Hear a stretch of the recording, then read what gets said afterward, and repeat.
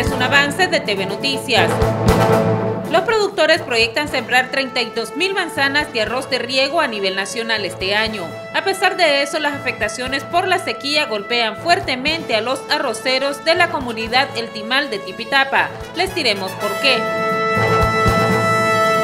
Además, niños, niñas y adultos del barrio capitalino Bataola Sur participan del simulacro nacional de prevención de desastres organizado por el SINAPRED.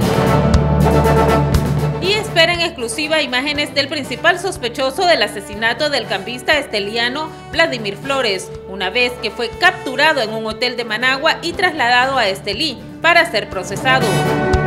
Más detalles en TV Noticias hoy a las 6 de la tarde por Canal 2.